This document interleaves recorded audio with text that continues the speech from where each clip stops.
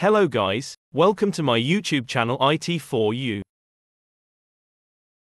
Today we will discuss about how to get your bookmarks of Chrome on another device. To get all your bookmarks on another device you just need to go to the Chrome. Look for the three dots at the top right corner of the Google search bar. Click on that. Now look for the bookmark option. It will shows a drop-down menu. In its drop-down menu look for the Bookmark Manager.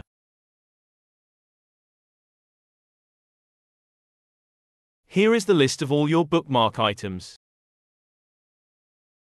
Now, at the top right corner of this page, you can see the three dots beside the search bar of bookmark. Click on that.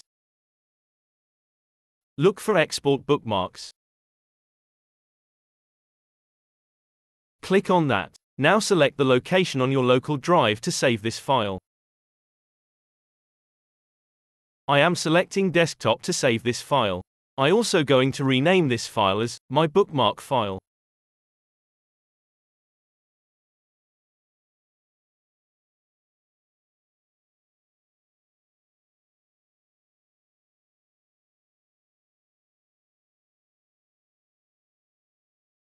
Now click on Save button.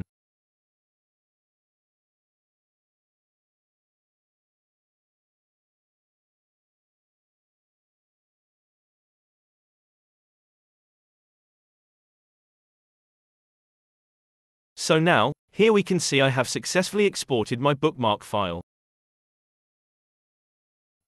Now I am going to show the steps to add these bookmarks to the Chrome again. So now, I am going to open the browser again. Going to the three dots again. Click on it. Looking for the bookmark drop down menu. Click on it. Now look for Bookmark Manager. Click on it. Again, click on three dots beside the search bar of bookmark. Click on it. Now you have to select the Import Bookmark button and look for the location where you have saved the bookmark file. Just select that file and click on the Open button. Your all bookmarks will be imported to that browser as they were on the previous device. Hope you liked the video. Thanks for watching. For more related video comments us on the comment box below. And must subscribe the page. Have a nice day.